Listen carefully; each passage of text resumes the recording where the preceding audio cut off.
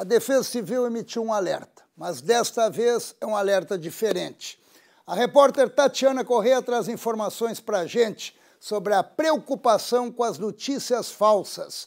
Boa noite, Tatiana, é isso mesmo?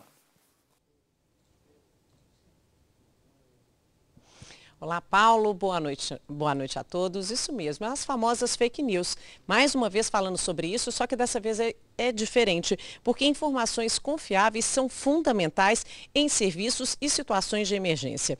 Durante toda a última semana, a Defesa Civil de Santa Catarina acompanhou a formação de um ciclone extratropical próximo aqui à costa catarinense, emitindo os avisos meteorológicos e também alertas necessários. Mas devido a informações não oficiais, as fake news, circularam nas redes sociais e também em grupos de WhatsApp avisos que deixaram milhares de catarinenses apreensivos desnecessariamente. Bem, dessa forma, a Defesa Civil aqui do Estado, ela pede aos catarinenses que sempre confirmem as informações no site oficial ou na rede social oficial, tanto da Defesa Civil do Estado quanto da IPAGRE Cirã.